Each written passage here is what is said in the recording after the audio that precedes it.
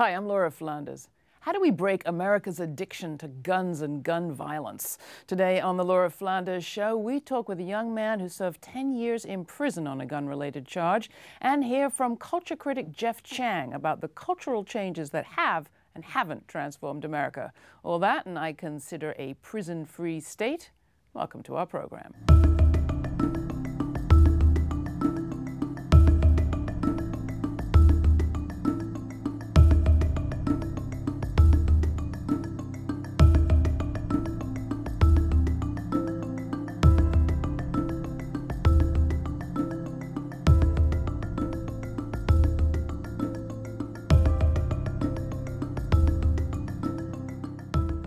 Marlon Peterson spent his entire 20s in prison, charged with second degree murder and convicted of attempted robbery and assault. Five years after his release, he's now a Soros Foundation Justice Fellow working to end gun violence and increase community safety in New York City through the creation of zones where no one will need to carry a gun not even police. He's designed and implemented several youth empowerment programs and earned an undergraduate degree from New York University. He's also become a published writer. Marlon's the co founder of the Precedential Group, about which more. I'm ever so happy to welcome him to our program. Marlon, welcome to the show. Glad to have you. Thanks for having me. Thanks for having so, me. Um, take us back to pre prison Marlon. Introduce me to him. Who was he? What was his life like? What were his parents like? What was he up to? I hear a rumor of writing for Spike Lee and interning at the opera. Mm-hmm. Yeah, it's, it's, an interesting sort of story. So, Brooklyn, New York, by way of Trinidad, I always put that out there. Um, grew up with parents, grew up as a Jehovah's Witness, actually, so I might have been knocking on your door at some point um, as a kid. So, I learned um, you know, speaking in front of people and groups at a young age. Did very well in school, valedictorian of, uh, uh, of my grade school and things of that nature. Um, but I think I always say that during my early teens, there was a series of like very traumatic events that happened. Mm -hmm. um, one was very violent, well, both were very violent in nature. Um, one was, was sexually violent in nature. And I think both of those sort of things, and just like, you know, everyday sort of bullying for being the smart guy in school, I think in my teenage sort of um, logic, I felt like the best way to sort of deal with these sort of things was to sort of like shift who I am and who I'm around. You know, I can't be this prey. I got to sort of like, you know, be around other folks that's doing the preying. Um, so um, all that honor roll stuff sort of just trickled out quickly. And not quickly, just phased out. Uh, so by the time I got into, um, I went to college actually, New York City Tech, um, for a couple of semesters. Didn't do well financial aid. I didn't know how to navigate that system, so I just dropped out. Mm. Um, and then um, after a couple of months of just like languishing, not doing much, just hanging around the neighborhood, hanging around the block, um, I decided to enroll in um, a technical school, Apex Technical School. I said, let me do something with myself. Mm -hmm. And um, it was about three months from graduating from it, just 12 days before my 20th birthday, um, when I was arrested um, in connection with a double homicide that happened in Lower Manhattan. I was the youngest of five folks. I was a lookout in the crime and I was initially facing, it's funny, I was initially facing the death penalty. I remember my lawyer saying to me, well, you know, Robert Morgenthau, who was a DA at the time, Manhattan DA, well, he never faces, he never uh, pursues it, but he'll probably just pursue life without parole, as if it was like, okay, that's good for me. Great option. um, thankfully, that didn't happen, yeah. um, but I was sentenced to 12 years. And now you have numbers tattooed on your shoulder. Yeah, 10 to 7. That's the only tattoos I have. 10 years, 2 months, 7 days. Um, so out of the 12 years, I did 85% of that time, which is um, mandated through in New York State. Um, so I was released. I was went in when I was 19. I came out when I was 30, 31. You wrote in Gawker not so long ago that you spent a lot of time in prison, well, reading, learning, but also watching people become prisoners. What did you mean by that? It's a breaking down process. Um, I always remember uh, Angela Davis' book, and she had a quote that says, you know, prisons are, are and jails are designed to make people, um, like in a zoo, obedient to the master but dangerous to each other. Um, and inside of that space, there's nothing about the prison environment. I always say that that that initiates, that encourages rehabilitation, empowerment, mm -hmm. none of those sort of things. People are able to do it in spite of the conditions of the prison system. So seeing folks um, whether they had if they didn't have any family to visit or they had no one to call or no one to write, so they was definitely not getting any uh, any letters or any visits. Um, it it isolates you in a way that's very inhuman. Um, and, and, and not to absolve people for whatever they have done to put them to get them in that place, but the very space of it, um, in particular as a young young person, when, when I was usually the young person in the space in, in the different jails I was in or I was transferred to, there's nothing about it that unless you have a tremendous amount of sort of familial support, mm -hmm. or if you have some rock rock hard bedrock foundation on which to sort of build from, there's nothing there that's going to encourages mm. sort of a successful time, or you want, if you want to say that, a successful time in mm. inside those places. Something made a difference for you, which was letter writing. How definitely, definitely. So, I mean, you mentioned earlier, I had, you know, my seventh grade teacher, you know, discovered I had a good writing ability, so I had a internship uh, where I wrote for uh, Fort, the Fort Greene News in Brooklyn, sponsored through Spike Lee and Nike. Um, and I sort of rekindled that ability and that talent while I was inside. So it started with me just writing to myself. So at this stand, I have like a huge library of, of journals from day one to, to the last day I was released on December 23rd, 2009. Um, but in that also, I was able to participate and create or co-create a program um, through a friend of mine at the time. She was a teacher at the time in Brooklyn and uh, just writing to her kids. Mm. And it became just asking her asking me to write one letter, just some words of wisdom, speaking about my experience, and it became a program um, where I would create lesson plans for the kids, and she would implement it, and they would each individually write me back, and I would individually write every one of those kids back, up to 50 letters every two weeks. Um, and I often say that that that helped me more so than I don't even know, but I think it helped me more so than even helped these young folks. Even though they told me so many deep things about them, even though they never met me, um, it gave me a sense of relevancy, a sense of purpose, um, despite those places, and a sense of like, I can be something, I'm a human being, despite everything that this place I'm in is telling me. Well, now you're a Soros Justice Fellow. Congratulations. Thank you. Just recently announced. And you're working on this program around gun violence. Um, of all the possible things you could work on, why, why gun violence at the center? Well, so I'm from Crown Heights, Brooklyn, right? So you know, I grew up in the late 80s, early 90s, where gun violence was at, at record numbers, right? 2,000, over 2,000 people were being murdered in New York City in the early 90s. Um, so I grew up around a lot of gun violence. And then, of course, unfortunately, like my crime is related to guns and gun violence and the loss of life, the loss of um, the feeling of safety for those people who were in the vicinity mm -hmm. when it happened. Um, uh, and, and, and then coming home though the neighborhood wasn't exactly like how I left it, it was still the same in the eyes of many folks that were living there, and still is to this day. So it just felt, I felt like it was, it was, it was necessary for me to be a part of this. I always call it people work. Um, and, you know, gun violence is just like the evident display of so many other things that's happening on the undercurrent. Um, and I want to sort of be able to bring my experiences, but my expertise also to the conversation. Um, and I've been doing it since I've been home. Yeah. You've said that gun violence can be treated in a way comparable to an infectious disease. Um, can you explain that? Well, it's you know it's this is that's not necessarily my sort of theory, but it's something I do adhere to where um, there are folks who um, take a public health approach to addressing gun violence, seeing it as a disease that's sort of like transmitted in terms of the behavior, mm -hmm. the behaviors that sort of go along with somebody feeling the need to pick up a weapon. Um, it's a public health approach to addressing gun violence. And um, there are many organizations that do this sort of work. Um, one nationally known is called Cure Violence, mm -hmm. where they have a public health approach. And they, pretty much the people that work are the folks who, who were once infected, you can say, mm people who are credible messengers, people who were once engaged in that lifestyle at some point. Um, so that's sort of the school I come out from.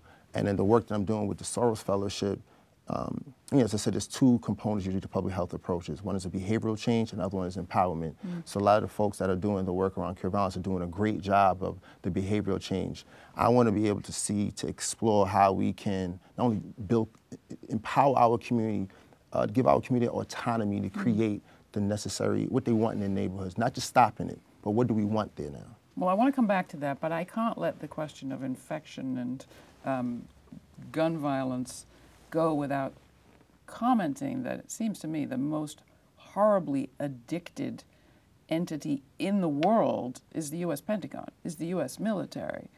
Uh, sure, let's mm -hmm. help kids in your neighborhood, but What do we do about society, our society's addiction to picking up a gun to solve every problem in this country, everywhere? Well, I think particularly in this country, there's a there's a sort of warped um, addiction, love of guns that are that are sort of, I could say, bastardized from the original way when we think about the Second Amendment, et cetera.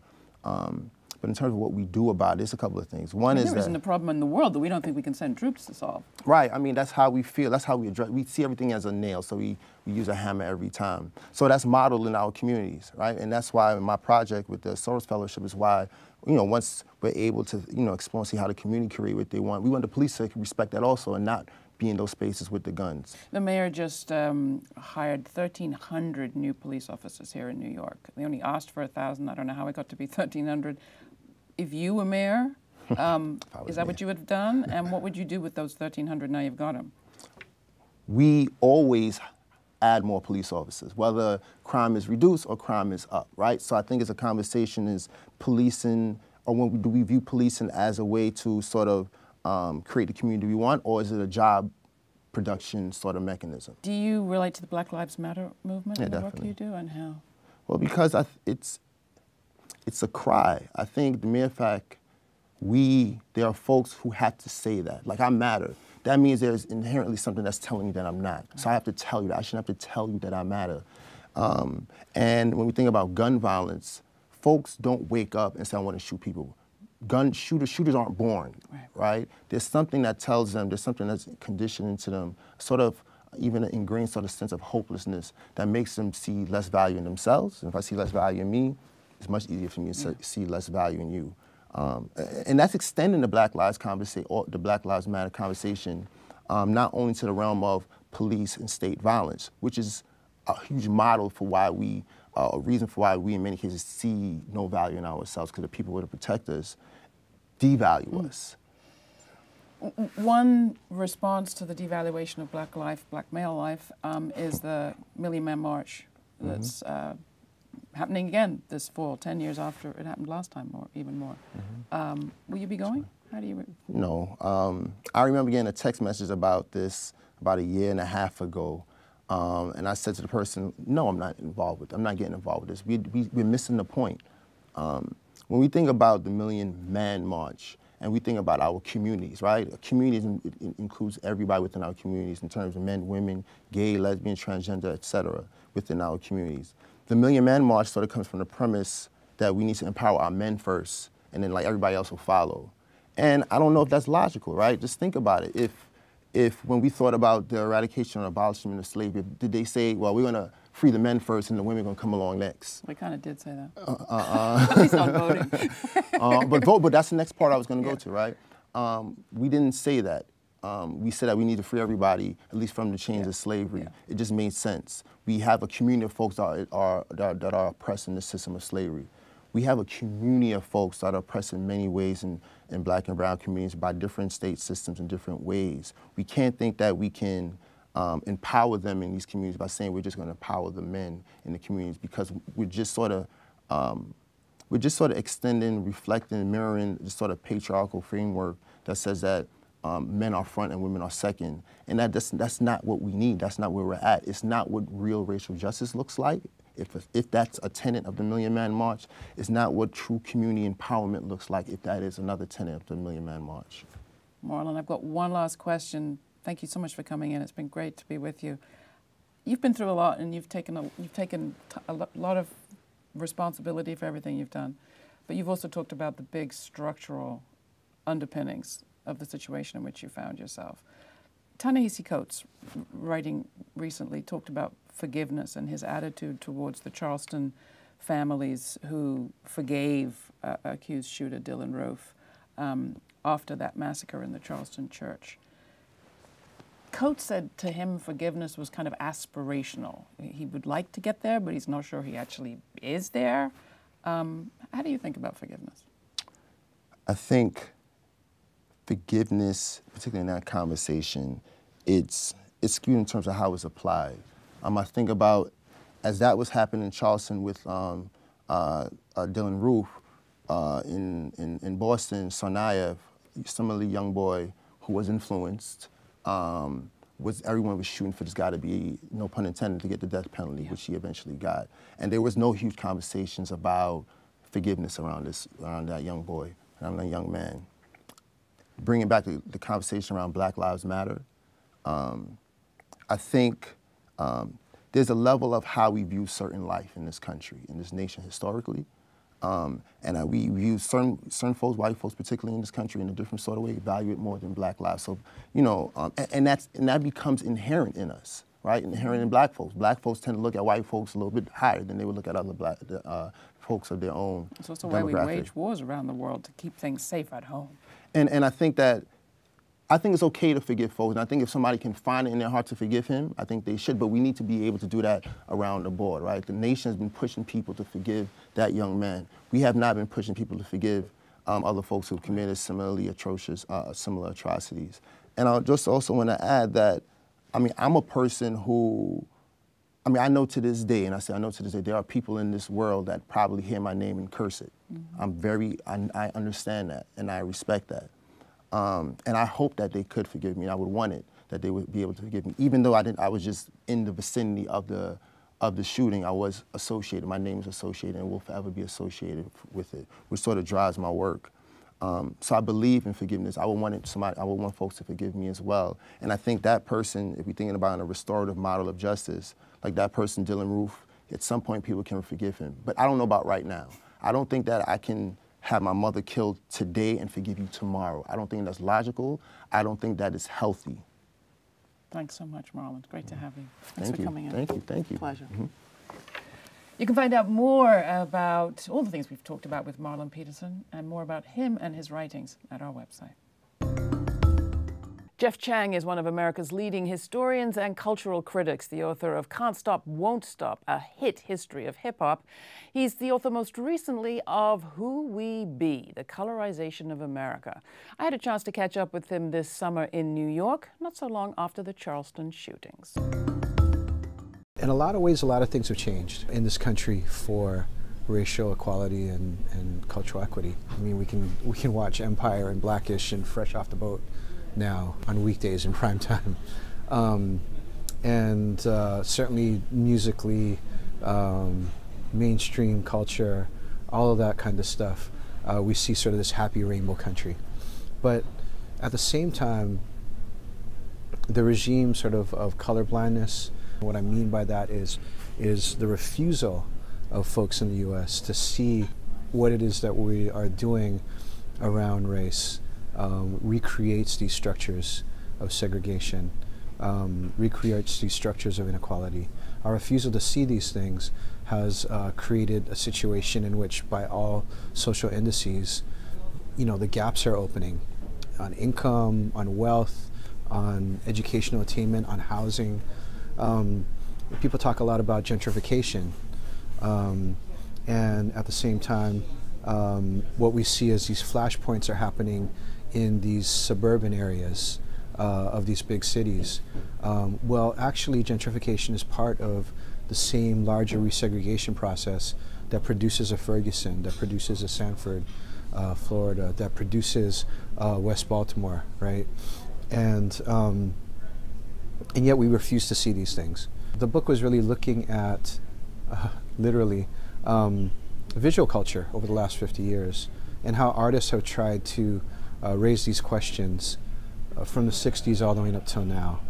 Um, and what's been really interesting is to see the rise now of these social movements that are literally about transforming the way that we see each other, uh, understanding that racial profiling um, and stereotypes and the kinds of things, these kinds of ways that prevent us from seeing each other's full humanity um, are what is triggering, uh, continuing to trigger uh, these these sparks, these flashpoints, these events, um, uh, these killings, um, these assaults, this violence uh, that the Black Lives Matter movement has has uh, sprung up to call attention to, and and to move us towards.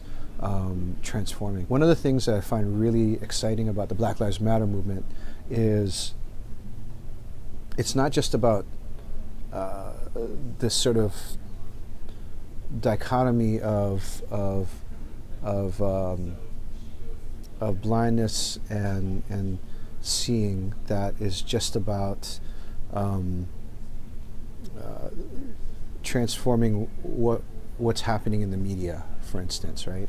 Um, it's about seeing the whole diversity of Black lives, and what I think Black Lives Matter, uh, what folks in Black Lives Matter uh, argue is that if we can see the diversity of Black lives uh, and why they matter, then we can see why all lives uh, matter. We're in this weird kind of moment now where everybody's kind of looking for diversity. Diversity is kind of a fad right now. Um, and I think that that provides openings for folks to be able to find their way in. We've already seen artists like Kendrick Lamar, like D'Angelo, like Kamasi Washington, um, being able to to step into that space and be able to articulate um, what even two or three years ago might have been really radical, too radical messages um, for, for the marketplace. Culture is implicated in, in capitalism um, intimately, in, in both the sort of ideological form that Nancy Leong calls racial capitalism, um, as well as actual, factual capitalism. Culture's really uh, always had to figure out, people working in the culture have always, I think, had to figure out where you want to align yourself in relationship to that. Um, and, you know, art's art's not easy, and art needs funding, and we all need patrons, and and you know, and so it's the kind of thing where um, uh, the economies, uh, the questions of the economies of, of the arts are are uh, are always before us.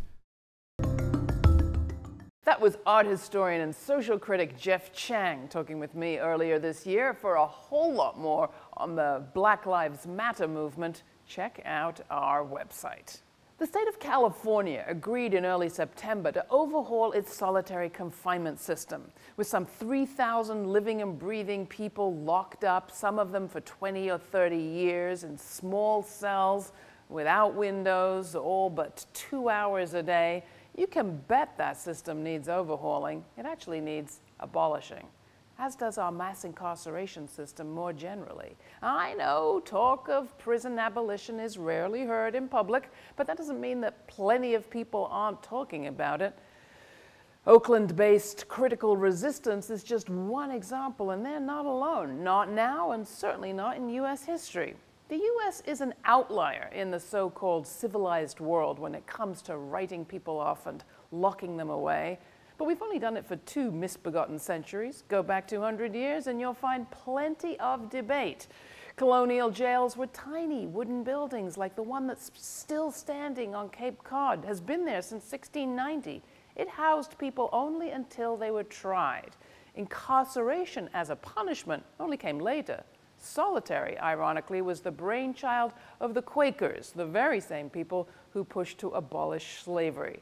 They imagined that reflection all alone was an alternative that was more liberal to the stocks and whipping. Even at that time, though, there were places with no prisons.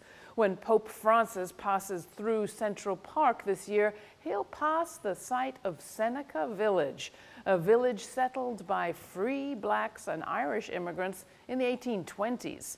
According to the New York Historical Society, Seneca Village held three churches, a school, several cemeteries, but no prison until it was razed to build the park.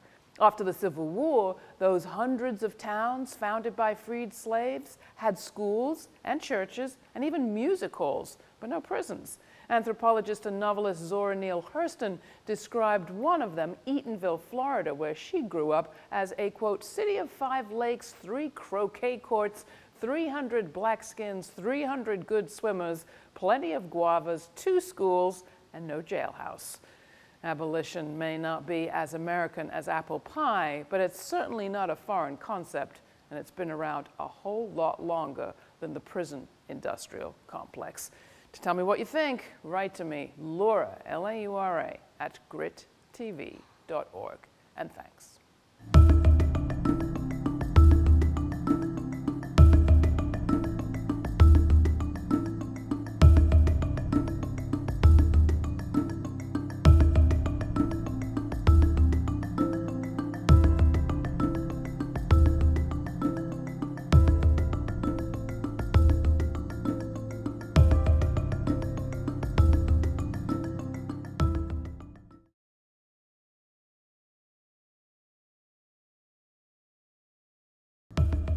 Black land matters this week on the Laura Flanders Show. There's always been a backstory of mm. cooperative financial movements behind those social movements. And then we take a look at a few initiatives to do that again today. What this workshop does specifically in breaking down what a cooperative does is empowers people. That is where I kind of lay most of my hope for, for change in this neighborhood. Does it take to go from a moment to a movement? Today we're dedicating the entire Laura Flanders show to a special report from Baltimore. People in Baltimore are tired of just sitting idle, waiting for change to happen, so we're going to make change happen ourselves, whether it's through breaking the curfew, civil disobedience, or daily protests, whatever it is, we're going to do it.